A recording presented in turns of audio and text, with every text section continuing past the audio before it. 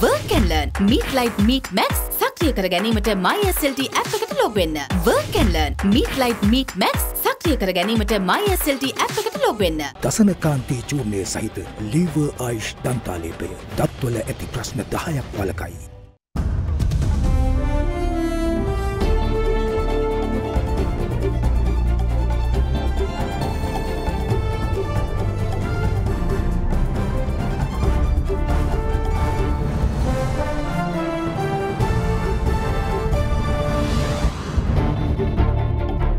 Headlines tonight, similar ideology. Samagi Jana Balawegaya parliamentarian Dr. Harsha De Silva says he is confident Sri Lanka would rise from the crisis if President Ranil Wickremesinghe is surrounded by people of the same ideology. And in my view, he is a legitimate whether we like it or not. There is hope. Countries that were far worse than us have risen. Debt burden. Sri Lanka's per capita debt shoots up 257% to nearly 800,000 rupees per individual between years 2010 and 2021. Blue Finance. Senior economist at ADB Institute says Sri Lanka can focus on opportunities for developing ecotourism and coastal conservation as blue financing projects. tourism is going to bounce back anyway as the pandemic recedes. Tax lifted. All duties on imported raw material for locally manufactured sanitary napkins waived off, and importers of finished napkins will get zero rate of VAT. All this and much more coming up tonight, this Sunday, the 2nd of October 2022. විම් දියර millilitre සීයේ smart pack එක රුපියල් අසූ පහට දැන් වෙළඳ පොලේ. From Ada Derana, this is Ada Derana First at 9. Live from Studio 24 in Colombo. Warm welcome joining you tonight on First at 9. I'm Hindivari Amuwapta. Now, what is the debt burden of an average citizen in Sri Lanka? According to a special audit report on financial management and public debt control in Sri Lanka during the period from 2018 to 2022, Sri Lanka's per capita debt shot up by 257% between the year 2010 and 2021. Accordingly, per capita debt stood at 793,888 rupees, or an average citizen is in debt of nearly 800,000 rupees by the end of year 2021.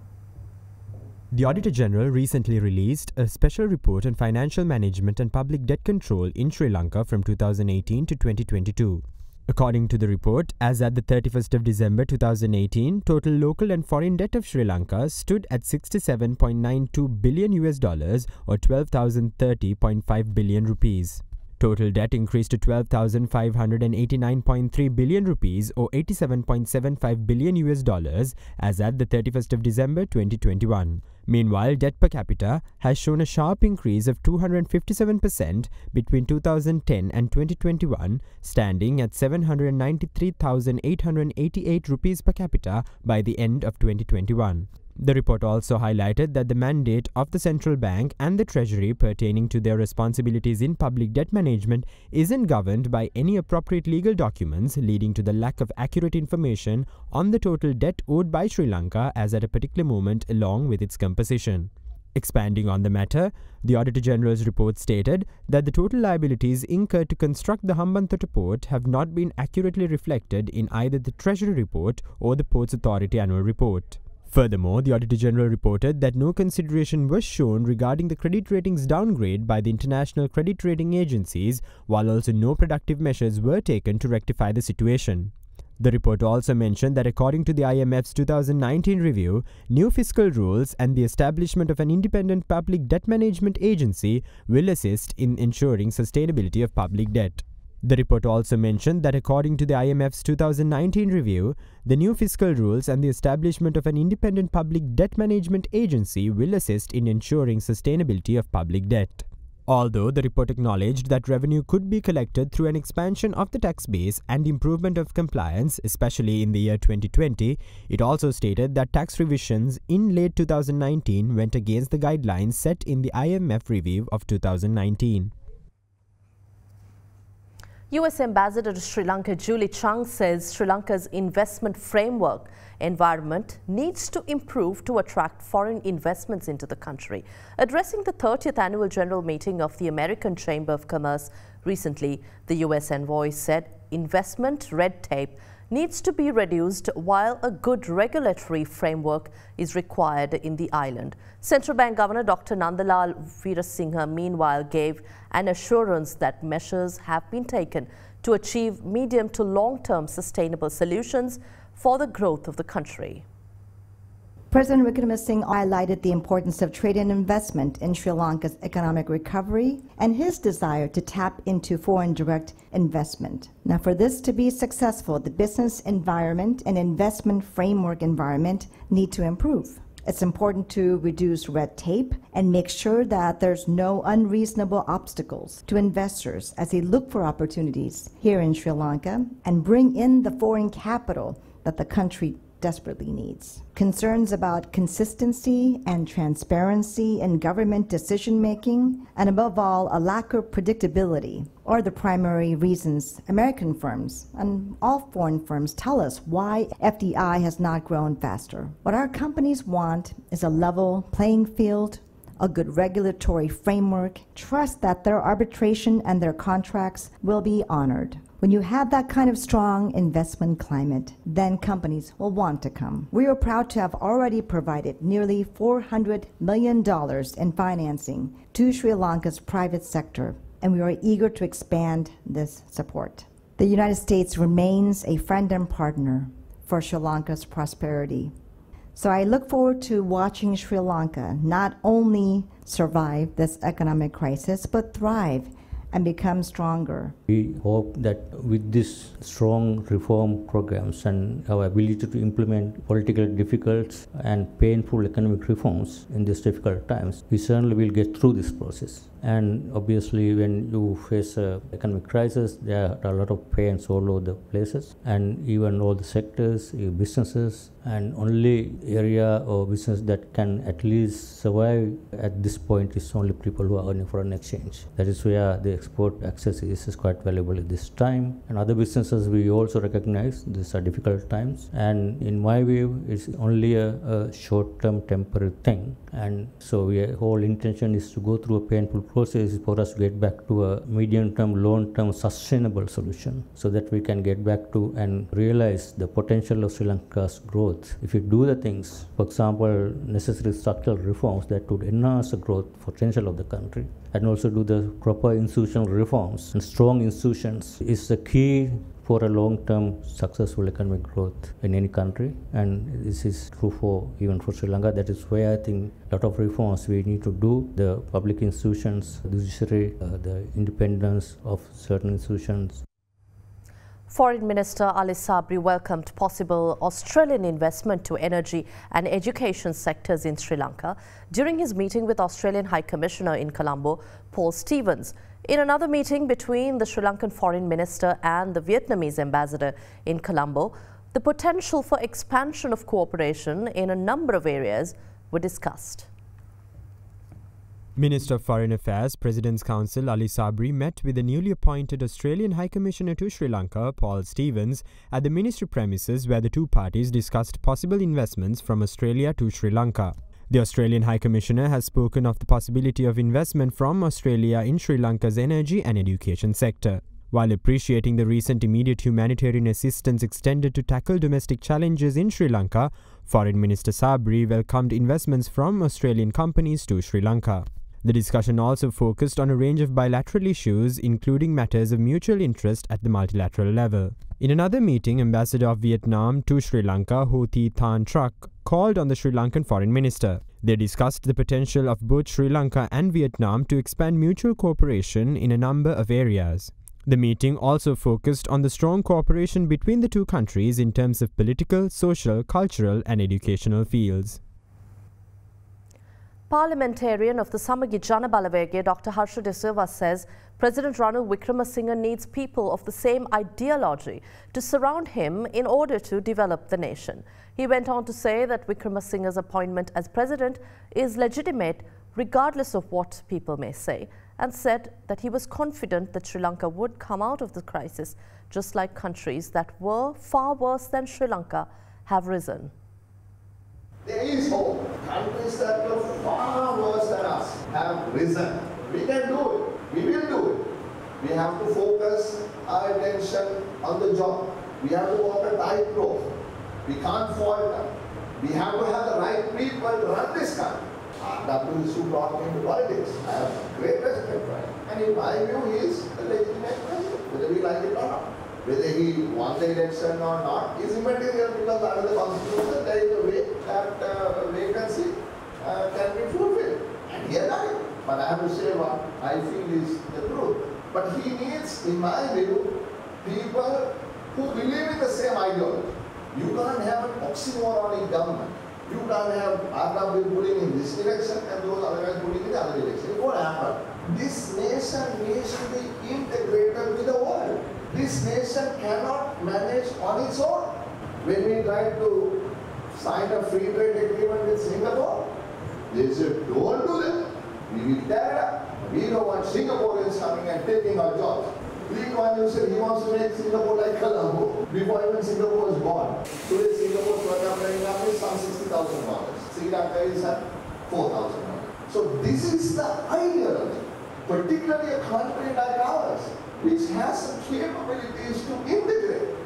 So my point is, we can do it. To do it, we have to really think of opening, breaking down the walls, building bridges to the world, keeping the talent as much as possible to participate in what are called global production networks, become players in an efficient, dynamic marketplace, and with some luck, have some leaders who can guide us along the right path. All taxes imposed on imported raw material for locally manufactured sanitary napkins and finished products have been waived off in order to make hygiene products more affordable for women and girls in Sri Lanka. President Ranil Wickremesinghe has directed authorities to thereby pass down the benefit to consumers. The President's office said manufacturers should get the recommendation from the Secretary to the Ministry of Industries to receive tax concessions at the import stage of raw material. According to the President's Media Division, customs import duty of 15%, cess duty of 10% to 15%, and the port and airport development levy of 10% have been waived off on importation of five raw materials and import of intermediate goods, while locally manufactured sanitary napkins and imported ones are given zero VAT rate. Heeding to the requests made by local manufacturers, the government has also taken measures to waive off duties imposed on five raw materials for locally produced sanitary napkins in order to make hygiene products more affordable. Following these concessions, the price of a pack of 10 sanitary napkins produced locally will be reduced by 50 to 60 rupees and the maximum retail price of a pack will be around 260 to 270 rupees. Additionally, consumer retail prices of imported finished products will be reduced by around 18% or 19%. Will the benefit of reduction in fuel prices pass on to the people? Let's find out when we return after this break. අයිනෝ Rhino පුතා හැබැයියා ගෙදර නිදියන්නෙම අම්මූතු තැනක. කාලගුණය කොහොමුණත් Rhino නං වාලට safe තමයි මුළු ගෙදරම. Rhino cement roofing sheets දැංගියුනෝ Rhino I know. Big 3 ඌව ඊස් මගින් ඉදිරිපත් කරන ආදරයෙන් අවශ්‍යතා ඇතියට අත්‍යවශ්‍ය භාණ්ඩ පරිතාග කිරීමට වේදිකාවක්.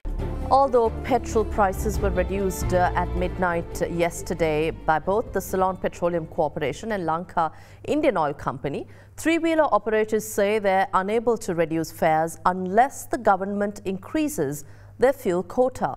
Private bus owners, however, say they can reduce bus fares if fuel prices of diesel are brought down. With effect from midnight yesterday, state fuel supplier the Ceylon Petroleum Corporation reduced prices of their 92 octane and 95 octane petrol products by 40 rupees and 30 rupees respectively.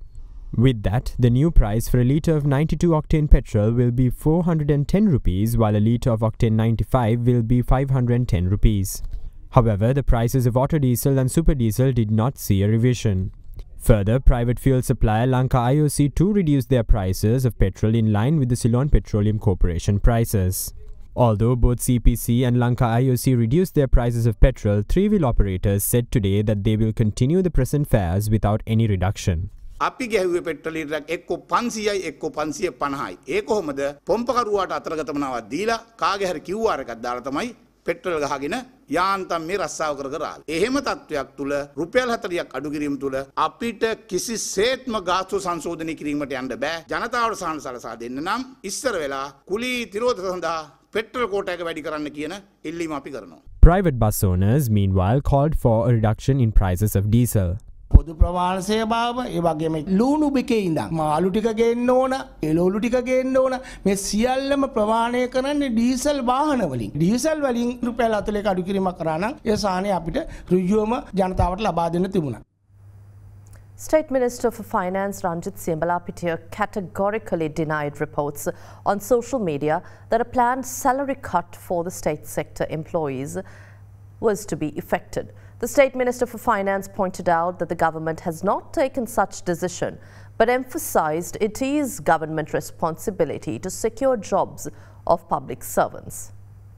අපේ රටේ මාසික රාජ්‍ය සේවක වැටුප සඳහා බණ්ඩාගාරය ගෙවන මුදල රුපියල් බිලියන සියක් කෝටි අනුතුනක්. විශ්‍රාම වැටුප සඳහා රුපියල් බිලියන විසිහයක්. මේ දෙක එකතුව රුපියල් බිලියන එකසිය දහනමයක් මාසෙට. මේ එක වාර්ෂික බැලුවොත් රුපියල් බිලියන එක්දා සාර්සිය විසිහට දෙදස් විසි එකේ අපේ මුළු රාජ්‍ය ආදායමත් පෙල් බිලියන එදා සාරසිය පණහකට ආසන්න ප්‍රමාණයක්. මුළු රාජ්‍ය ආදායමම අපි වැටුප් සහ විසා වැටුප් සඳහා ගෙවන මට්ටමක ඉන්න. මේක ඉතාමත්ම බැරෑරුම් කාරණාවක්. රාජ්‍ය සේවක වැටුප් අඩක් නෙමෙයි සියල්ලම හිමි වෙන තත්ත්වයකට තමයි ක්‍රමවත් විදිහට ආර්ථිකය ගියා නම් සිද්ධ වෙන්නේ. හැබැයි දැන් ඒක වෙන්නේ නැහැ කියන එක වගකීමෙන් කියන්න පුළුවන්.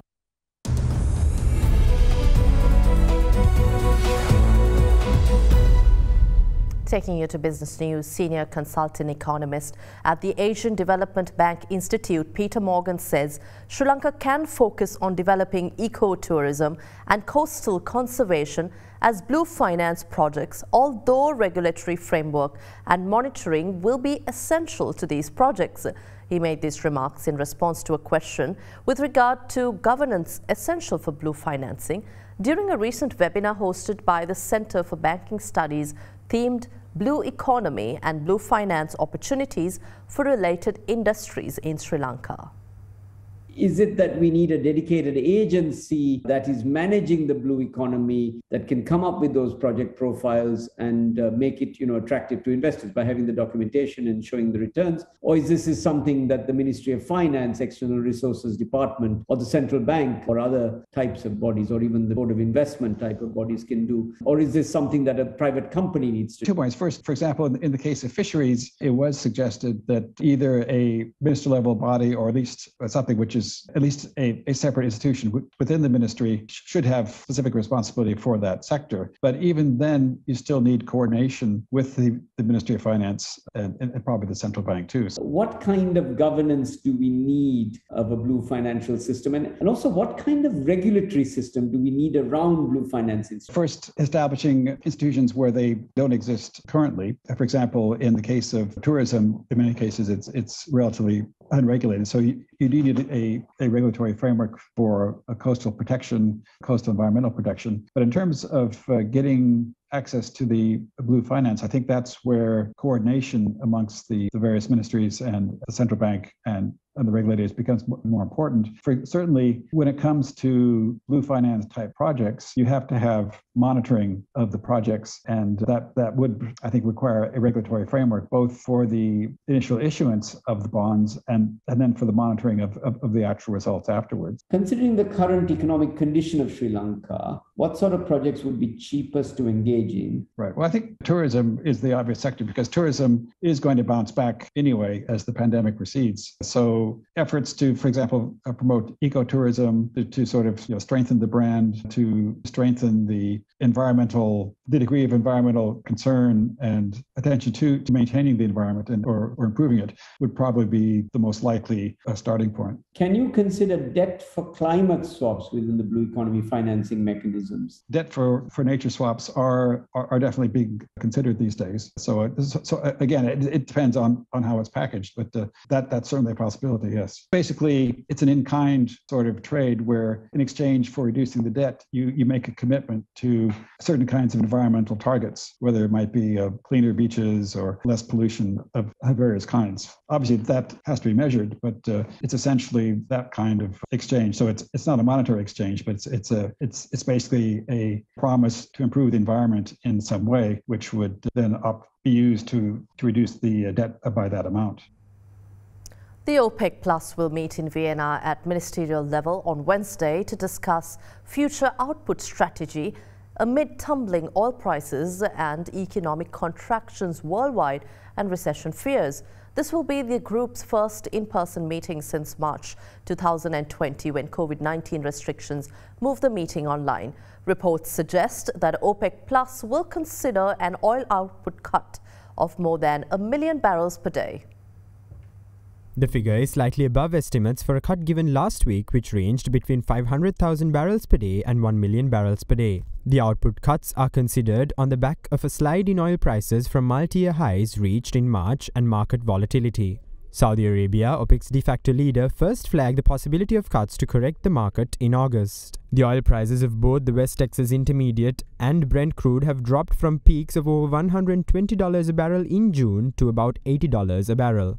Today, Brent crude futures stood at 85.57 US dollars a barrel, while WTI futures stood at 79.77 US dollars a barrel. Meanwhile, China's imports of Russian oil have rocketed from a very low base at the start of this year, reaching a peak in June and July and largely maintaining these levels through to September. Although India's purchases of Russian oil have fluctuated this year, falling in February at the start of Russia's invasion of Ukraine, purchases rose significantly in the following months. Sri Lanka has also been taking advantage of discounted Russian oil with three shipments. At one point, Russian Urals crude was more than $30 a barrel cheaper than Brent crude. By the end of September, this was around $20 a barrel cheaper.